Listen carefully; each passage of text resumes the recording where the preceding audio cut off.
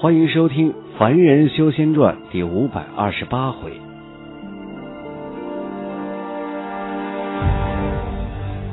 第二天，韩立刚刚从打坐中醒来，音乐就前来禀报，说程长老和吕洛两个人过来了。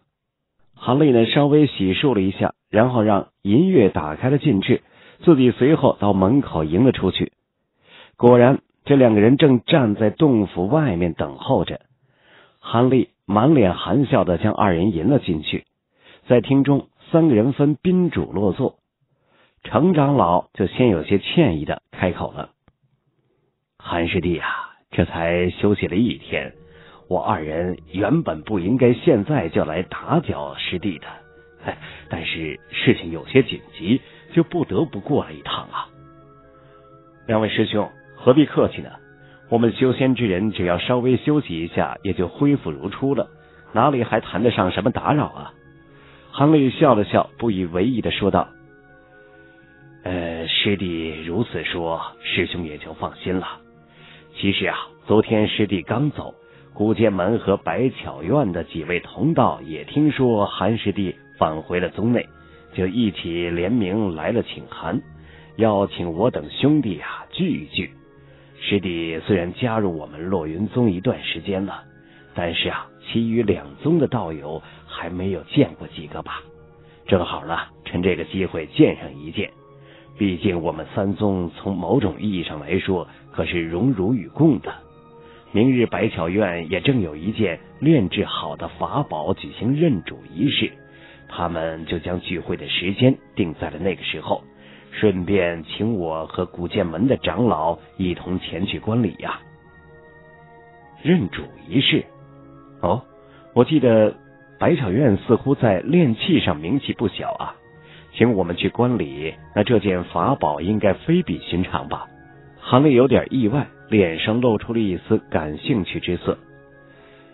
这个请函上没有透露，不过滴血认主是白巧宗新结丹的一名年轻弟子，听说呀资质非常好，不到百年就结成了呀。这宗里的几个老家伙对他寄的希望可不小啊。这么短的时间就结成了金丹，的确是有些惊人呐。好吧，明天我就和两位师兄去一趟。我也有些好奇呀。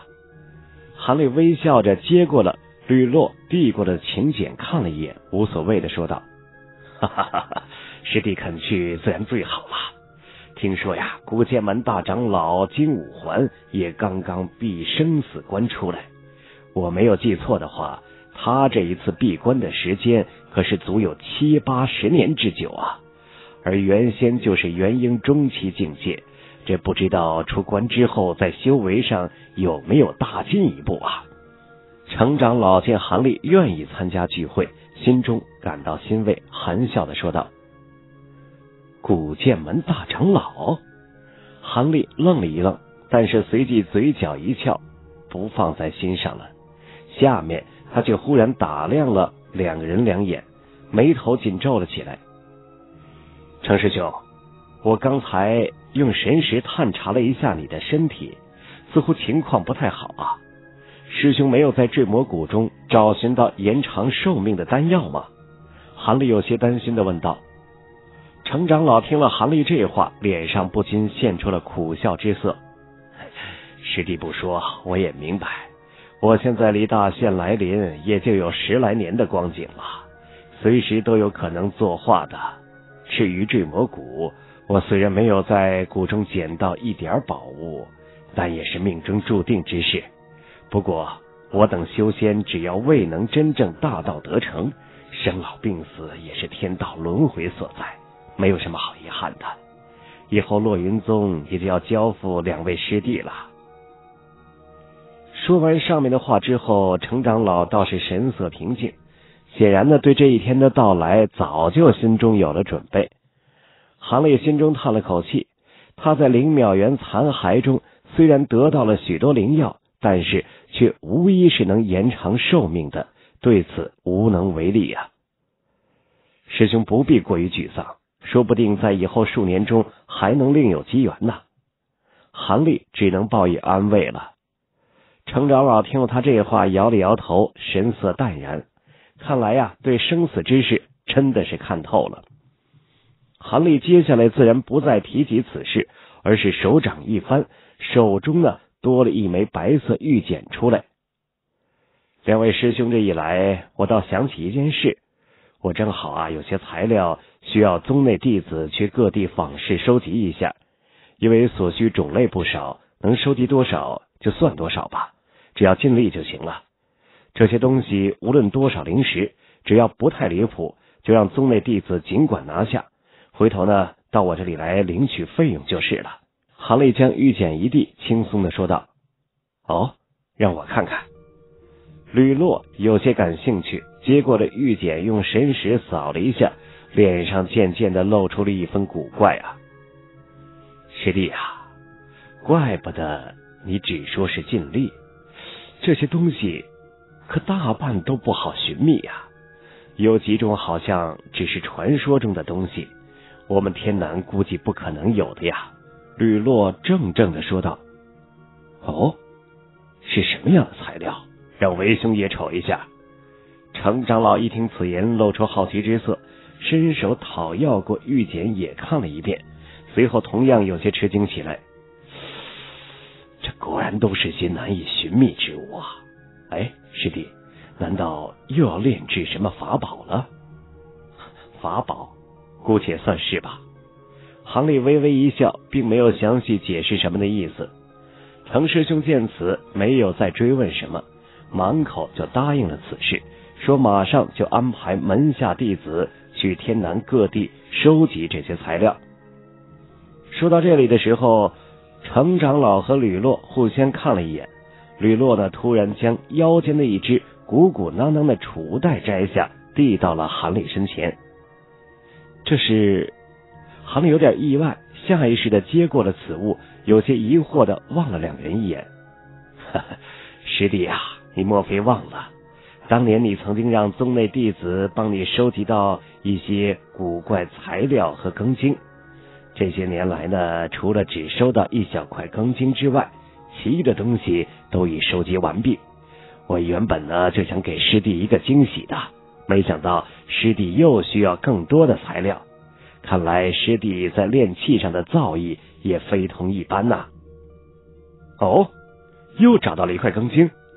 韩立一听这话，心中大喜，急忙打开储物袋看了一眼，在诸多杂七杂八的材料当中，果然有一小块核桃大小的金黄色庚金躺在其中。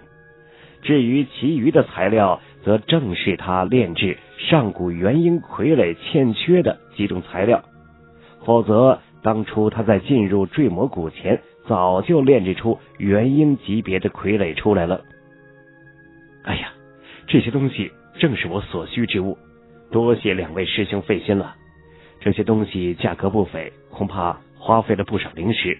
我韩磊脸上显出了一丝喜意，但当提及了费用之时。却被程长老哈哈一笑，摇手打断了。哈哈哈哈师弟说的哪里话呀？这些东西虽然值些灵石，但是师弟昔日在木兰人入侵之际，代替本宗一连出战两场，宗门替师弟付些灵石也是应该之事嘛。哎，师弟啊，尽管拿去用就是了。好吧，师兄既然如此说了，那师弟我也就不客气了。韩立闻言一愣，但想了一下，笑了笑，也就洒脱的将储物袋收了起来。程长老见韩立并没有再推辞，脸上也露出了满意之色。哦，对了，程师兄啊，昔日我被吸进空间裂缝的时候，有两口飞剑还没有来得及收起，师兄当日可曾见到过呀？韩立又想起了一事，不加思索的问道。当日他被吸进了空间裂缝，不知道他们的踪迹。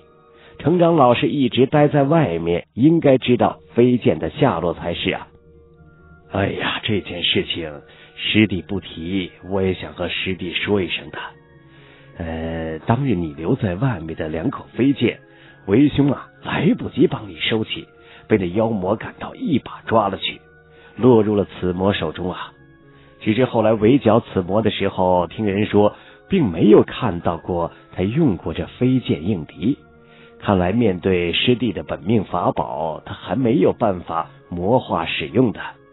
呃，唯一麻烦的就是吧，现在此魔是下落不明，这飞剑嘛，恐怕不好找回来了呀。老者似乎早有所预料，有些歉意的说道：“什么，在古魔那里？这倒有些麻烦了。不过也没关系，只是身外之物罢了，再炼制两口也就是了。”韩立脸色微变，但是随即就神色如常了。我想也是啊，师弟本命飞剑众多，丢失了两口也不算什么的，犯不着再冒奇险去找生死不知的此魔呀。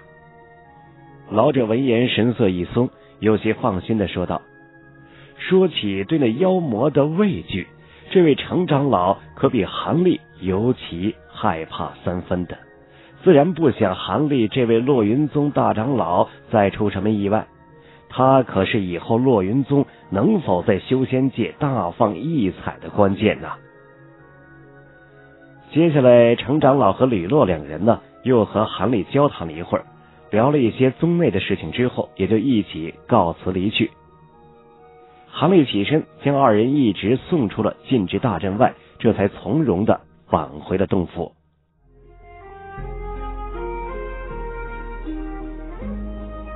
网，有时候聆听也是一种力量。你的畅听别样精彩，三 w 点听八五点 com。主人，你现在又得到了一块钢筋，岂不是可以再炼制两把飞剑，重新布置大坑剑阵了？才一走进大厅中，墙壁银光闪动，银月无声无息的浮现而出，笑眯眯的说道。哪有那么容易的事情啊！青竹风云剑是成套的法宝，这块庚金不足以再炼制一整套法宝出来呀。而欠缺的两口飞剑，即使用其他飞剑补上，也没有办法操纵如意的。而强行催动大庚剑阵，也困不住对手。那两口丢失的飞剑，一定要找回来。韩立听到银月提及此事，脸色骤然阴沉了下来。可是那两口飞剑可是落入了古魔手中，主人虽然修为大进，但若古魔并未身死，遇到了他还是不是他的对手啊？银月有些担心的说道：“这个不用你说，我也知道，在没有十足的把握前，不会轻举妄动的。等将那虚天鼎开启。”或者将那仿制的七焰扇炼制出来，我才会去寻找此魔的。韩立目光闪动了几下，重新坐在了主座上，肃然的说道：“哎，小子，你怎么忘了老夫研制出来的傀儡？那古魔虽然说厉害吧，但你能凑齐材料炼制出此傀儡，面对此魔的时候，虽然说不能稳操胜券，但是……”自保却是绰绰有余的。行内神识中突然传来了大眼神君的话语声，仿佛见韩立没提及他的傀儡，竟有些不服气的样子。韩立嘴角微微一翘，露出了淡淡的轻笑。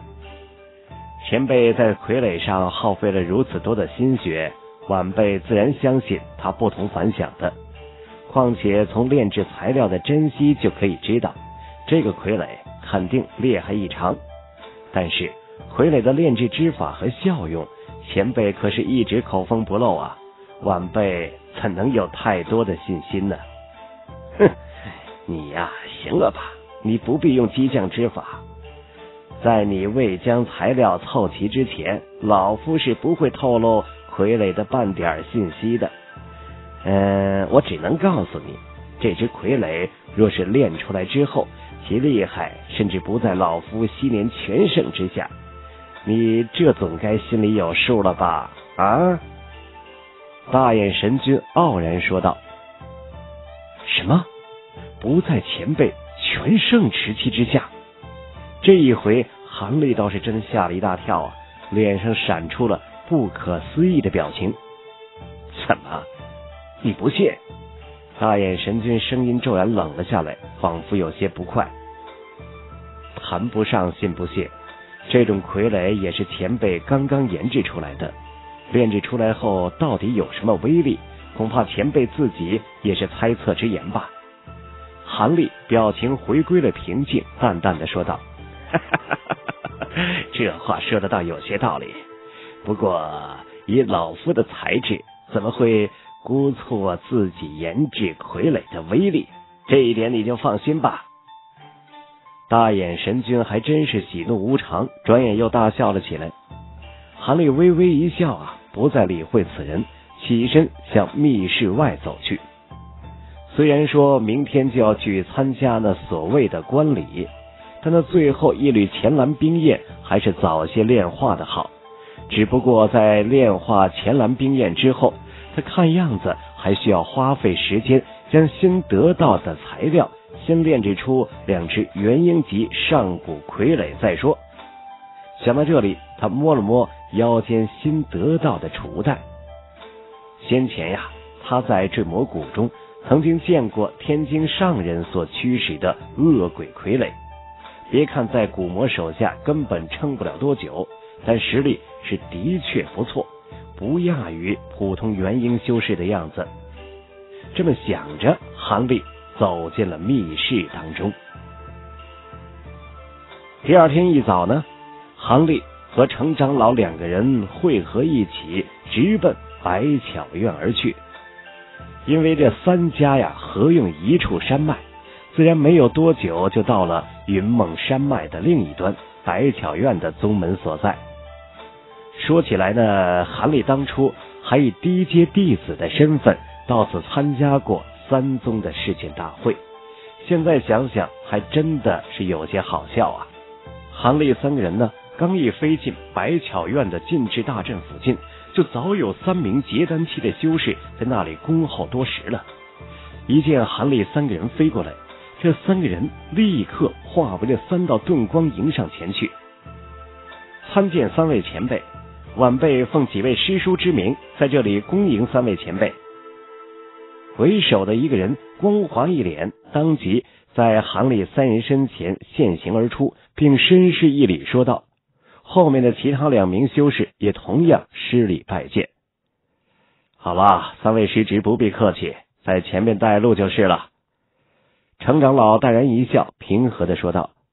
韩立的目光却在那个人的面容上一转，脸上露出了似笑非笑的面容。说来也巧啊。这迎接人中啊，有一位老者，正是当日主持事件大会的傅老者。以修仙者的超强记忆力，他不可能认不出现在的自己。但是这个家伙脸上丝毫异色不露啊！看来虽然修为低了些，但是心机可是非同一般的深呐。在傅老者三个人的带领之下，韩立等人呢，穿过了禁制大阵，进入到了。百巧院的上空，这一次，韩立等人并没有在四面环山的中间广场降落，而是直接引到了一面依山壁而建的巨大平台之上。在这平台中间，修有一间高约百丈的阁楼，足有五层之多呀。猛一看，不像楼台，倒像是一座巨大的石塔。而在阁楼后面一眼望不到尽头的山壁上。竟然到处都是密密麻麻的大小孔洞，里面不时有百巧院的弟子进进出出，竟仿佛是蜂窝一般呢。傅老者并没有带领三人去那阁楼，而是带着他们直奔山壁最上端飞去。此山地底深处有一座顶级的地肺火池，不但炼气事半功倍。而且对修炼火属性功法修士来说，更有不少益处的呀。所以百巧院不但将众多炼气士修炼在此面山壁上，还有不少高阶弟子也将洞府修建在山腹之中啊。程长老对百巧院显然呢是非常的了解，在飞遁之中随口向韩立介绍着，说者无心。听者有意啊！韩立听了程长老这话，不由得心里边一动，脸上可就露出了一丝若有所思之色。欲知后事如何，欢迎各位继续关注收听《凡人修仙传》第五百二十九回。